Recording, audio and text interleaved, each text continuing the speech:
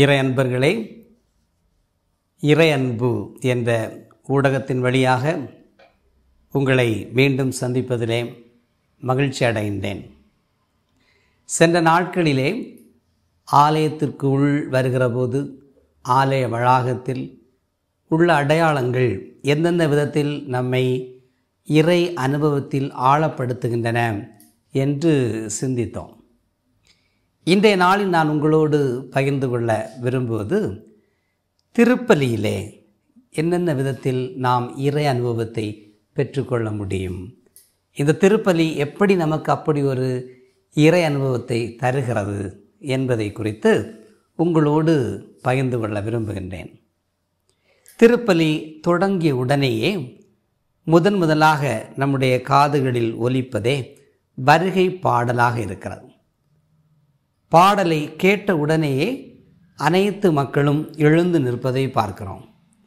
அங்கே திருப்பலி தயாராகிறது திருப்பலி தொடங்க இருக்கிறது என்ற உணர்வு நிலையை பெறுவதை பார்க்கிறோம். எதற்காக இந்த வருகை பாடல் இன்று ஆழமாக சிந்தித்து பார்க்கின்ற போது பல்வேறு சிந்தனைகளோடு நாம் வருகிறோம். பல்வேறு மனக்குழப்பத்தோடு இருக்கிறோம். பல்வேறு சுமைகள் நம்மை அழுத்திக்கொண்டே இருக்கின்றன. நம்முடைய மனது பரபரப்பாக இருக்கிறது. அந்த நேரத்திலே ஆண்டவருடைய பலியில் நாம் இணைய இருக்கிறோம். அவரிலே இரண்டர கலக்க இருக்கிறோம். நம்முடைய சுமைகளை சோர்வுகளை அவரிடத்திலே இறக்க நாம் வந்திருக்கிறோம். நாம் நம்மை தயார்படுத்தி கொள்வோம். நம்முடைய மனதை ஒருமுகப்படுத்தி கொள்வோம். அவரிலே இணைவதற்கு நம்மை உடல் அளவிலே உள்ள அளவிலே தயாராவோம் என்பதற்காக இந்த வருகை பாடல் பாடப்படுவதை நாம் உணர்ந்து கொள்கின்றோம். அந்த பாடல் நம்மை ஈர்க்கிறது. இறைவன்பால் நம்முடைய உள்ளத்தை திருப்புவதற்கு வழிவகை செய்கிறது. நம்மை இறை அன்பிலே இன்னும் ஆழப்படுத்துவதற்கு உதவுகிறது என்று பார்க்கிறோம். இதுதான் தொடக்கத்தில் நாம் கேட்கின்ற அந்த வருகை பாடல் நமக்கு தருகின்ற ஒரு இறை அனுபவமாக இருக்கிறது. அந்த நேரத்தில் வருகை பாடல் பாடிய உடனே எழுந்து நிற்கின்றோம் என்று சொன்னேன். எழுந்து நிற்பது என்பதே நான் தயாராகிவிட்டேன். நான் இறைவனோடு இறைமையில் கலக்க என்னை தயார்படுத்தி கொண்டேன். என்னுடைய சுமைகள் சோகங்கள் எதுவாக இருந்தாலும் நான் இப்போது ஆண்டவரை நோக்கி வந்திருக்கிறேன். அவருடைய பிரசன்னத்தில் வந்துவிட்டேன். அவர் என்னை பார்த்து கொள்வார் என்ற ஒரு நம்பிக்கையை ஒருவித எழுச்சியை ஒருவித ஆற்றலை நமக்கு தரக்கூடிய ஒரு உணர்வு நிலைதான் எழுந்து நிற்பது. நம்மை தயாரிப்பது நம்மை ஆற்றல் படுத்துவது என்ற ஒரு அடையாளமாக அந்த எழுந்து நிற்பது என்று நாம் பார்க்கின்றோம். இதிலே தொடக்கத்தில் இன்னும் ஒன்று உண்டு வருகை பவனி. தொடக்க பாடல் ஒலிக்கிற போது அருள் பணியாளர் அந்த இறை மக்கள் சமூகத்தோடு வருகை பவனியிலே வருகின்றார். எதற்காக இந்த வருகை பவனி? எளிமையாக நமக்கு தோற்றமளிக்கின்ற இந்த வருகை பவனி உணர்த்துகின்ற ஒரு பேருண்மை நம்முடைய வாழ்வின் அடிப்படை இதுதான். நாம் கடவுளிடமிருந்து பிறந்தவர்கள். ஆண்டவருடைய இரக்கத்தினால் நம்முடைய பெற்றோருடைய திருமண இணைப்பினால் இந்த மண்ணிலே பிறந்திருக்கிறோம்.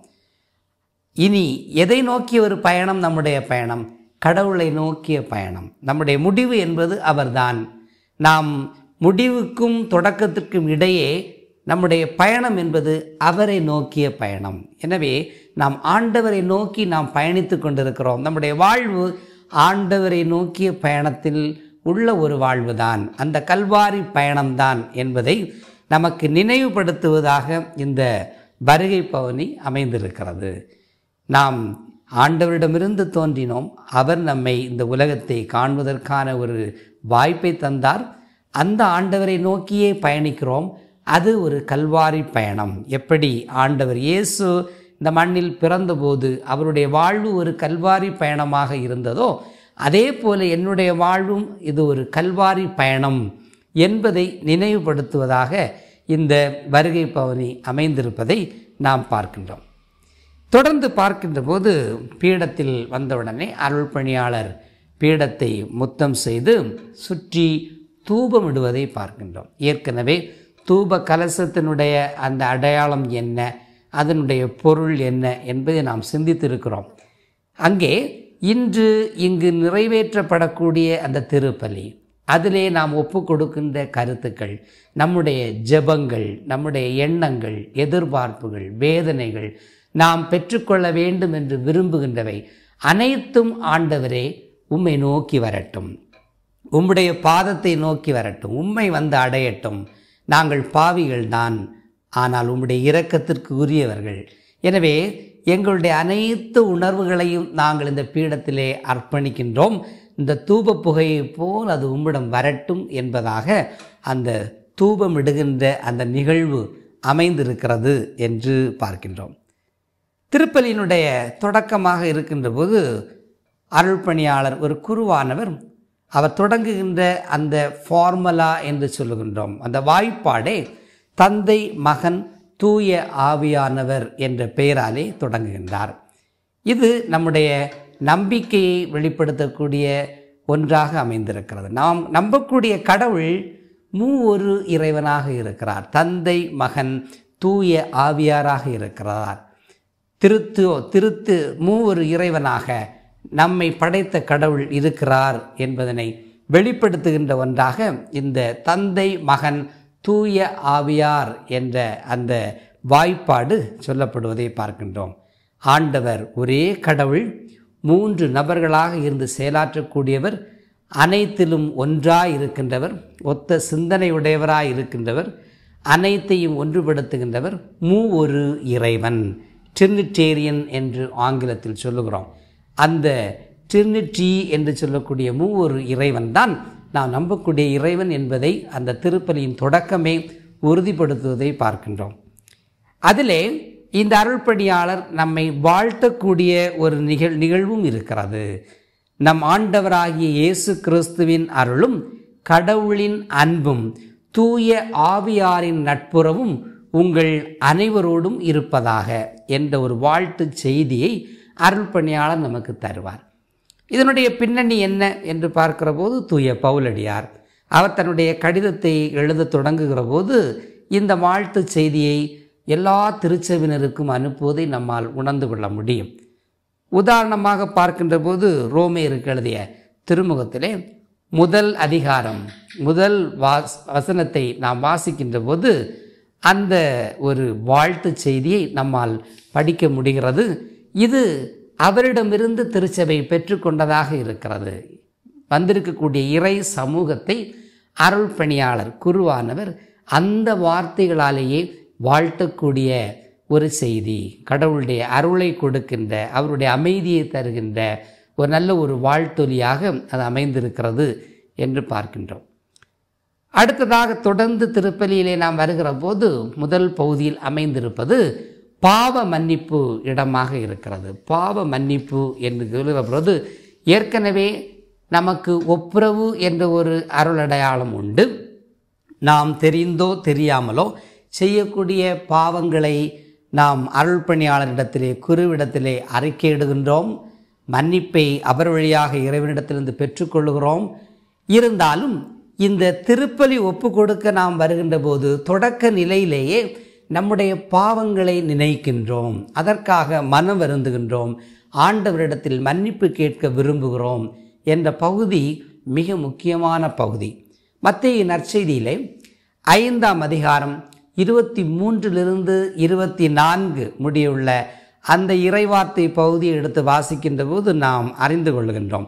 நீங்கள் உங்கள் காணிக்கையை பலிப்பீடத்தில் செலுத்த வரும்போது உங்கள் சகோதரர் சகோதரிகள் எவருக்கும் உங்கள் மேல் ஏதோ மனத்தாங்கள் உண்டன நீங்கள் நினைவுற்றால் அங்கேயே பலிப்பீடத்தின் முன் உங்கள் காணிக்கையை வைத்துவிட்டு போய் முதலில் அவரிடம் நல்லுறவு ஏற்படுத்தி கொள்ளுங்கள். பின்பு வந்து உங்கள் காணிக்கையை செலுத்துங்கள். ஆண்டவர் சொன்ன வார்த்தை நம் ஆண்டவருக்கு காணிக்கை செலுத்த வந்திருக்கிறோம். அவரிடத்திலே நம்மை ஒப்பு கொடுக்க வந்திருக்கிறோம் நம்மை அர்ப்பணிக்க வந்திருக்கிறோம். இந்த நேரத்திலே நம்முடைய அர்ப்பணம் இந்த ஒப்பு கொடுத்தல் நாம் செலுத்துகிற இந்த பலி தகுதியான முறையில் இறைவனுக்கு ஏற்புடைய விதத்தில் அமைய வேண்டும் என்றால் நமக்கு எதிராக குற்றம் செய்தவர்களை நாம் மன்னிக்க தயாராக இருக்க வேண்டும் என்றால்தான் ஆண்டவரிடத்திலிருந்தும் நாம் மன்னிப்பு பெற்றுக்கொள்ள முடியும் என்பதை உணர்த்துகின்ற விதமாக நம்முடைய குற்றங்களை அறிக்கையிடுகின்ற ஆண்டவரிடத்திலே நம்முடைய குற்றங்களுக்காக மனம் வருந்துகின்ற ஒரு உன்னதமான பகுதியாக இந்த பாவ மன்னிப்பு பகுதி அமைந்திருக்கிறது. ஒருவேளை இதை நாம் மனதார செய்கிற போது நமக்கு எதிராக குற்றம் செய்கின்றவர்கள் நம்முடைய மனக்கண் முன் வருகின்ற போது அந்த நேரத்தில் அவர்களுக்காக ஜெபிப்பது அவர்களுக்காக ஆண்டவரிடத்தில் மன்னிப்பு கேட்பது நம்முடைய குற்றம் எதேனும் அதில் இருந்தால் நம்மையும் ஆண்டவரிடத்தில் ஒப்பு கொடுத்து அந்த நேரத்திலே ஜெபித்து மன்னிப்பு வேண்டுவது என்பது ஒரு புனிதமான ஒரு செயலாக அமைந்திருக்கிறது. இனி நாம் வெளியே செல்லுகிற போது மன் மனதளவில் மன்னித்தோம் என்று சொன்னால் நிச்சயமாக அவரை பார்க்கின்ற போது நமக்கு எதிராக செயல்பட்டவரை சந்திக்கின்ற போது நம்மால் உறவு ஏற்படுத்தி கொள்ள முடியும் அவரோடு ஒன்றிணைய முடியும் நட்புறவோடு வாழ முடியும் என்பது உண்மை. அந்த ஒரு பயிற்சியை அந்த ஒரு அனுபவத்தை அந்த ஒரு ஆன்மீகத்தை தரக்கூடிய ஒன்றாக இந்த மன்னிப்பு என்ற அந்த பகுதி அமைந்திருப்பதை பார்க்கின்றோம். தொடர்ந்து மன்னிப்பு பெற்ற பிறகு ஆண்டவருடைய அருளை பெற்ற பிறகு நாம் உன்னதன்களிலே இந்த கீதத்தை தொடர்ந்து இசைக்கின்றோம். இது ஆண்டவரை மகிமைப்படுத்துகின்ற ஒரு உன்னதமான கீதம். ஆண்டவர் என்னை அன்பு செய்கின்றார் அவருடைய ஒரே மகனை எனக்காக இந்த உலகத்திற்கு அனுப்பினார். இன்றும் என்னை வாழ வைத்து கொண்டிருக்கிறார். என்னுடைய அனைத்து விதமான நன்மைகள் தீமைகளில் பங்கெடுக்கின்றவராக இருக்கிறார். எனவே நான் அவரை எப்போதும் வாழ்த்துவேன் என்ற ஆண்டவருக்கு நன்றி செலுத்தக்கூடிய அவரை புகழ்ந்து பாடக்கூடிய ஒரு உன்னதமான கீதமாக உயர்ந்த கீதமாக இந்த உன்னதங்களிலே என்ற அந்த பாடல் அமைந்திருக்கிறது என்பதை திருப்பதியில் நாம் பாடி மகிழ்கிறோம். அந்த ஒரு இறை அனுபவத்தை பெற்றுக்கொள்கிறோம் என்று பார்க்கின்றோம். முதல் முறையாக இவை பாடிய பிறகு அருள் பணியாளருடைய இறை வேண்டல் அமைகிறது. ஆங்கிலத்திலே கலெக்ட் என்று கூறுகின்றோம். முதல் இறை வேண்டல். அந்த குருவானவர் இறை மக்களுக்காக வேண்டுகின்றார். இறை மக்களுடைய பலவீனங்களுக்காக வேண்டுகின்றார். இந்த இறை மக்கள் இங்கு வந்திருக்கக்கூடிய குழுமி இருக்கக்கூடிய இந்த இறை சமூகம் உம்முடைய ஆற்றலை பெற வேண்டும் உம்முடைய தயவை இரக்கத்தை பெற வேண்டும் என்று ஜெபிக்கின்ற ஒரு ஜெபமாக அந்த முதல் இறைவேண்டல் அமைந்திருக்கிறது. அதன் பிறகு அனைவருமே அமர்கின்றோம். இந்த அமர்தல் என்பது ஒரு உன்னதமான அடையாளம். ஆண்டவருடைய அருள் பிரசன்னத்தில் வந்துவிட்டோம். அவருடைய அந்த சிறகுகளின் நிழலில் நாம் சேர்ந்திருக்கிறோம்.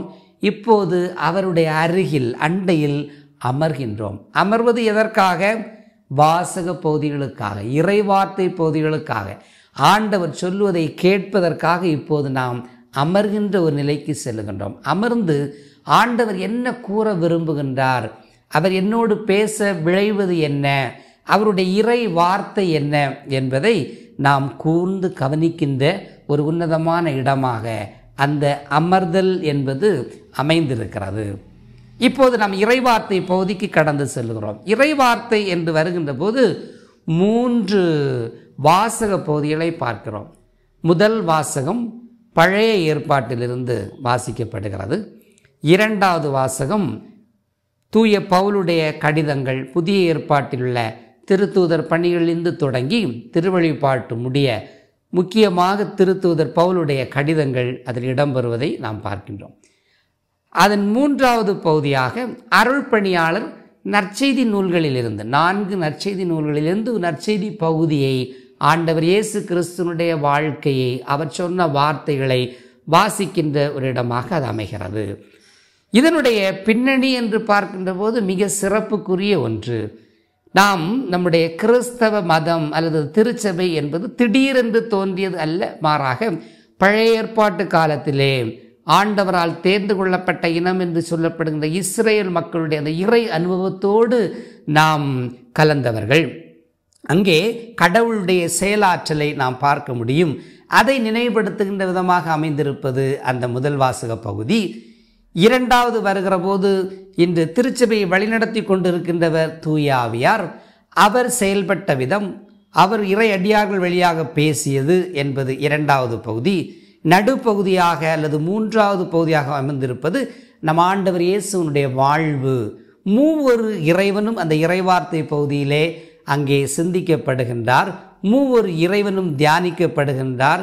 மூவர் இறைவனுடைய செயலாற்றல் அங்கு விளக்கப்படுகிறது என்று பார்க்கின்றோம். இப்படி நம்முடைய திருப்பலி நமக்கு ஆழமான அனுபவத்தை தரக்கூடிய இடமாக இறைமையை நாம் சிந்திக்கக்கூடிய இடமாக அமைந்திருக்கிறார் தொடர்ந்து இதே திருப்பலியிலே இன்னும் என்னென்ன நிகழ்வுகள் இருக்கின்றன என்பதை தொடர்ந்து சிந்திப்போம். வாய்ப்புக்கு நன்றி.